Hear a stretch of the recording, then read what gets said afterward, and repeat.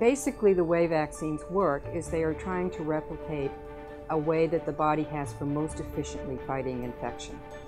And the way that is, is you get the infection, you develop these antibodies to the infection, then the body has a memory that anytime they encounter that same infection, these antibodies come out.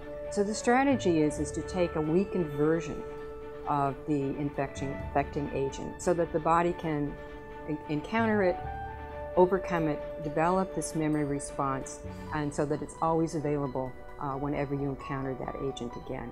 In the early 1900s, 10% of babies, 1 in 10, died before their first birthday, in large part because of, of the uh, burden of infectious disease that they encountered. If you get enough people vaccinated in the order of 80, 90%, then you have community protection because even if someone comes and brings the infectious disease in, there's nobody there to catch it and pass it on. So there is both an individual and a community value to the way that vaccines work. We've had an enormous decrease in the kinds of conditions that cause morbidity that are preventable by vaccines. And it is both an advantage to the individual to have a vaccine and an advantage to the community. We're now moving to other conditions, including preventing cancer.